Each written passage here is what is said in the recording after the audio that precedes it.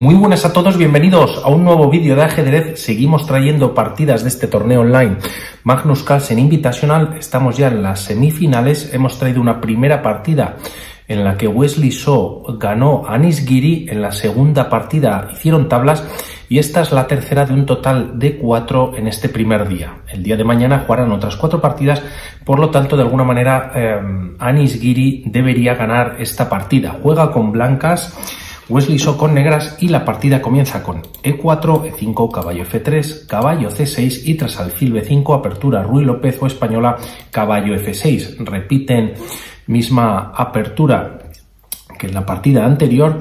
Esta continúa con D3 y tras alfil C5 se juega alfil por C6, D por C6, en rock en corto por parte de Anis Giri y caballo D7 por parte de Wesley So.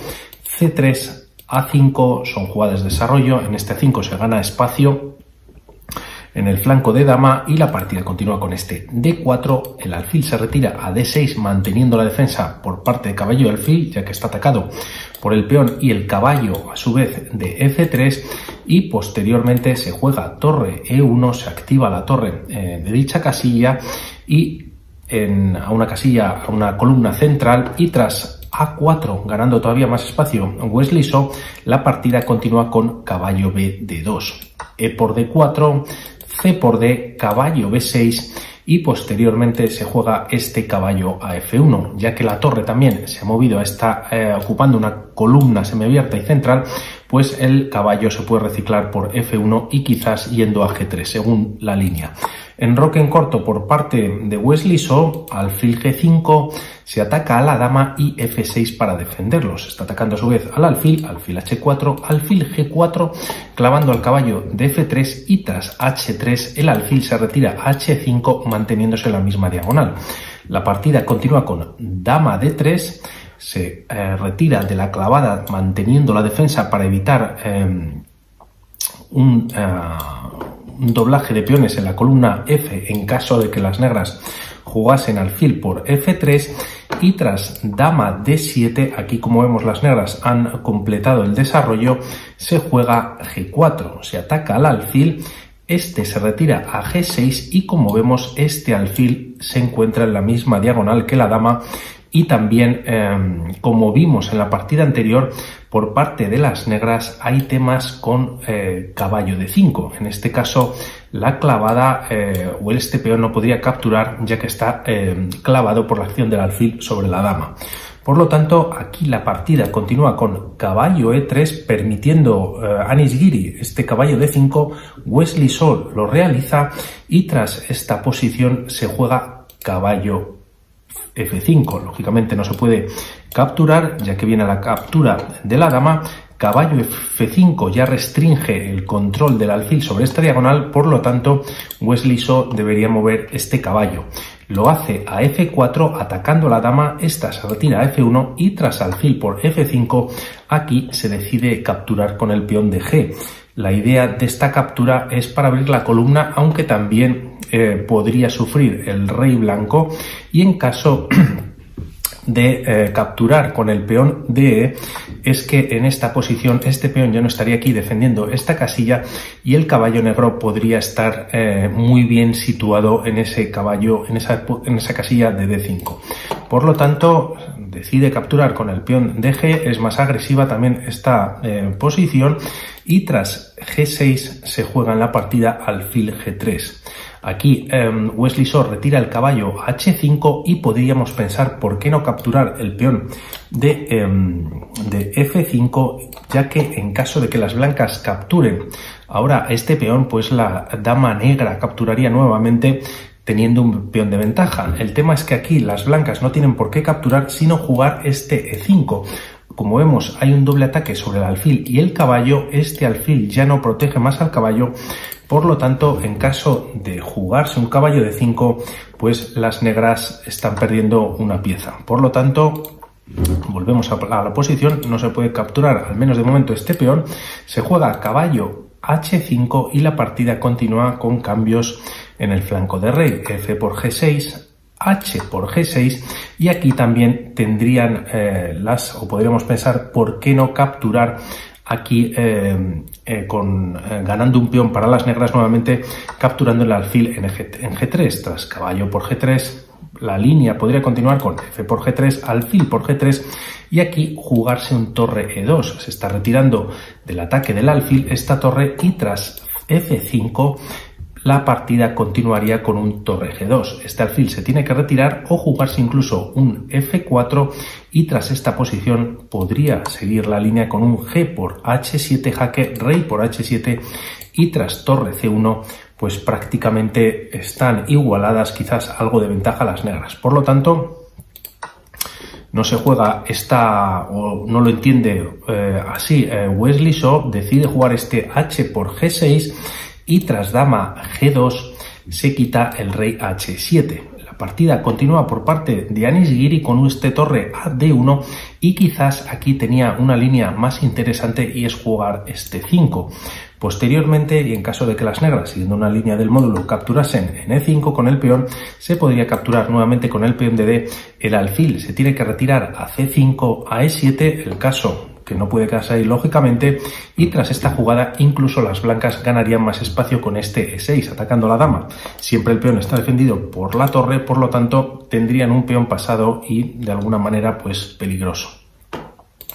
Volvemos a la partida.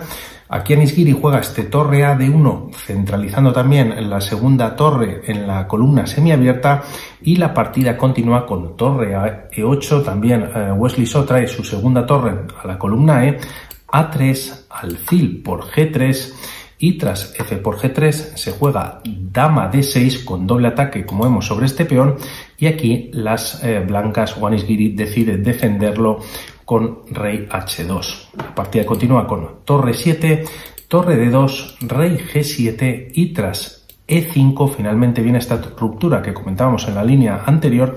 La partida continúa con dama d7. La dama se retira y aquí podríamos pensar por qué no capturar el peón de E5, vamos a seguir un poquito esta línea, y tras D por E5, como vemos, esta torre ataca a la dama, está defendida, como vemos, por el caballo, por lo tanto la dama se tiene que retirar, por ejemplo, a E6 y tras esa jugada las blancas podrían jugar un torre E4 activando la torre y de alguna manera pues eh, teniendo ventaja. Esto no sucede en la partida, tras este E5 se juega este dama d7 retirándose y la partida continúa con este torre e4, dama d5. Como vemos, esta torre está sin defender en e4, pero primero aquí Anisgiri captura el peón de f6 dando un jaque, rey por f6 y ahora torre e5. La partida continúa nuevamente, se está atacando a la dama con dama d7 retirándose una vez más y aquí lógicamente esta torre no puede capturar a la torre de E5 ya que existiría este peón por torre dando un jaque. Está atacada la dama, el, rey se tiene que retirar de este jaque porque este caballo de F3 defiende al peón de 5. Por lo tanto, sería partida para las blancas. Esto no sucede. Nuevamente, como decimos, Wesley So retira la dama a D7 y la partida continúa con torre G5 y dama D6. Aquí podríamos ver también una línea que eh, en caso de que las negras retirasen el rey a un lugar más seguro, como por ejemplo G7, las blancas podrían eh, hacer bastante daño con este caballo de 5 tocando a la dama y también haciendo un doble a este peón con caballo y torre. Por lo tanto, ganando espacio eh, Anis Giri y con cierta ventaja, aquí se mueve nuevamente la torre, la, la dama, perdón, a D6 y la partida continúa con torre F2. Con mucha intención puede venir una descubierta. Una vez se retire el caballo de F3, Wesley So decide ahora retirar el rey, lo lleva a G7 y tras caballo H4, nuevamente atacando por dos veces el peón de G6, solo defendido por la dama y por el rey, pues la partida continúa con este torre E6. Defiende nuevamente, está obligado a ello Wesley So a defender ese peón de G6 Caballo F5 con jaque no se puede capturar, ya que, como vemos, pues está la torre dando, eh, clavando al peón y tras eh, jugarse este torre por F5, ya que a su vez estaba dando eh, o estaba tocando el caballo, en caso de no capturarse el caballo, se estaba tocando la dama, pues están obligados a perder la calidad. Wesley So, torre por F5, torre F por F5, nuevamente el peón, pues así no, no puede capturar a la torre y tras dama por D4, Wesley So aprovecha para capturar un peón, se juega torre G4, se ataca nuevamente a la dama, esta vuelve a D6 y la partida continúa con un torre perdón, continúa con un torre F2 por parte de las blancas. Aquí, em, perdón, este no, que estaba aquí. Aquí la, esta torre de F5 vuelve a F2. Podríamos pensar por qué no capturar este caballo ya que nuevamente este peón no puede capturar por la acción de la torre sobre el rey, pero aquí las negras tendrían este dama de 3 y la ventaja que tienen las blancas en la posición pues la perderían llegándose a una posición de tablas. Ahora sí, esta torre se retira a G5 para atacar a este peón hasta en dos ocasiones, pues como vemos la torre negra puede venir a E2, está clavando a la dama y la línea podría continuar con un torre por G6 jaque, el rey se retira a F7 un nuevo jaque con la torre en G7, rey F8, torre G8 jaque y así pues podríamos estar haciendo jaques durante la eternidad y la posición es de tablas. Por lo tanto, esto no sucede en la partida. Aquí Anis Giri decide retirar la torre a F2 y tras ese movimiento se juega torre E3. Como vemos, hay un triple ataque sobre el peón de G3, también defendido por tres piezas eh, blancas, rey, torre y dama, por lo tanto, con mucha tensión sobre ese punto. La partida continúa con este torre 2, con la idea de cambiar piezas, ya que como vemos, pues tiene calidad eh, de más Anis Giri. Eh, Wesley So la rechaza, juega torre D3, dama F2, activando la dama, controlando también el punto de G3 y tras ese movimiento se juega C5. La idea es empezar a avanzar los peones en el flanco de dama, ya que las negras tienen mayoría de peones torre G5 viene en esta posición y quizás aquí las blancas siguiendo la línea del módulo tenían un movimiento muy interesante y es este dama F5. Nuevamente este peón no puede capturar, por lo tanto la línea podría seguir con un torre D2 y tras torre por G6 jaque dama por G6, ya que en caso de no capturar y retirarse el, rey a una de las casillas de la columna H, pues podría venir un mate por parte de la dama en H5, por lo tanto, dama por G6, dama por G6 jaque, rey por G6 y tras torre por D2 cambia prácticamente todo en esta línea y eh, las blancas pueden ganar la partida más fácilmente. No obstante, sigue la partida con este eh, torre G5, C4 y tras torre G, E5 doblando torres en la columna E, se juega caballo por G3. Torre 7 con jaque, el rey se retira a H6 y tras este movimiento dama F8 con nuevo jaque. El rey viene a G5 y tras ese movimiento se juega en la partida torre G2. Este caballo si se quita, como no os lo he comentado, pero bueno, se podría ver eh, que está, eh, una vez que se quite, eh, habría una, una descubierta con jaque, no obstante ha habido varios jaques por parte de las blancas, por lo tanto ahora está clavado por la acción de esta torre de G2 sobre el rey enemigo. La partida continúa con este torre E3 por parte de las negras. Y aquí quizás eh, una mejor jugada para las eh, negras, aunque llevan algo ya de desventaja, podría ser jugar este rey h4. En caso de que la dama entre en la columna H o la torre, pues la defensa sería con este caballo H5 que a su vez entra este jaque a la descubierta. Por lo tanto, en esta ocasión, tras jugarse un dama por D6, también se mantendría algo de ventaja, pero eh, sería algo menor.